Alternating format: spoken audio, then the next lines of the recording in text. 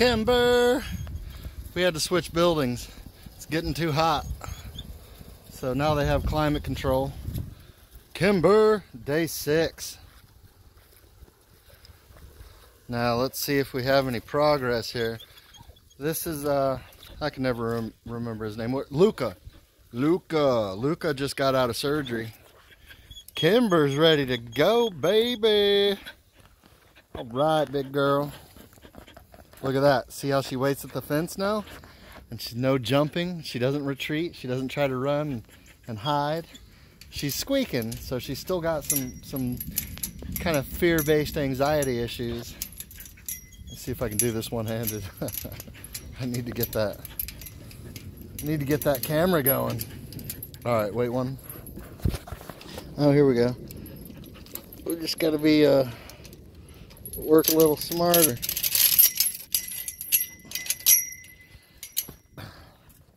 Yeah, and we have to we have to captivate that gate because these dogs are smart. If she's seen me close that thing one time, she could probably figure out how to do it.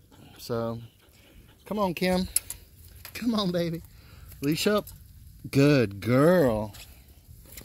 Whoa, whoa, whoa, whoa, whoa. You're okay. Dang it. Kim, relax. I know, it's scary. It's scary. So, come on, girl. Ah, she's wrapping me up right now. Look. okay. So, when they do this, hold them tight. Hold them tight. One side. And I use the command strong side. That's so she can be on my left side so I can access my sidearm on my right side. Good girl, Kim. So this is part of her acclimatization, kind of get her used to loud noises and people and strange things like this. Huh. I'll be damned. Okay, I haven't planted these. No more spin moves. I haven't planted these in forever. I forgot what they were called. This is pokeberry. That is pokeberry. It, the they call it inkberry, pokeberry. It turns purple and it's toxic. If horses eat it, they're guaranteed to die. This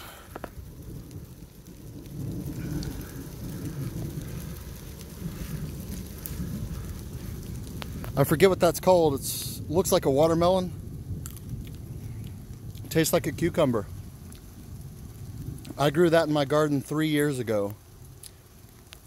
I guess some chickens ate it and ran around and kind of helped deposit it.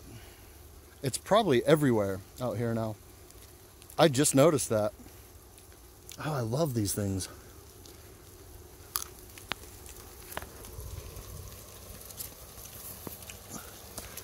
Ah, you gotta love it. Nature. Come on, Kim. Moving.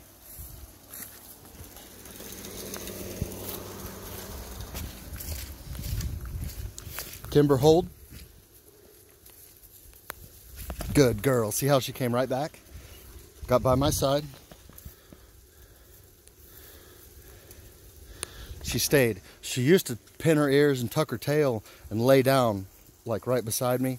Or they, Belgian Malinois have a, a trademark symptom. They want to get between your legs and they want to, like they, they want to, they want you to provide them shelter and comfort.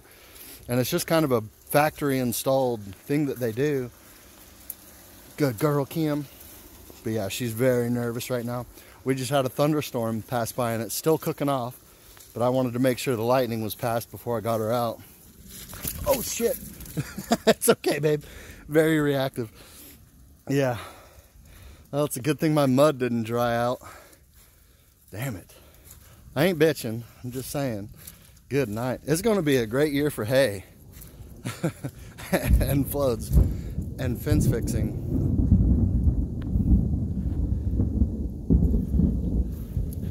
Good girl. Good girl. You see how she did that? She gave me her eyes. She looked to me. That's what you want. So whenever they do that, be sure to give them praise, give them a treat, give them a cookie, because that's good. That's what you want. Um, anyways, I'm getting a call. I got to take this call, but more to follow. Stay tuned, stay salty. Say bye, Kimmy.